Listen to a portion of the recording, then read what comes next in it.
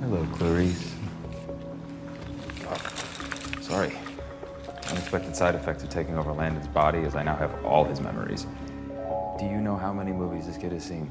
Mister gives us a shorthand. I'd like to get this over with as soon as possible. Oh, come on. You have to be a little impressed with how I tricked Landon out of the darkness.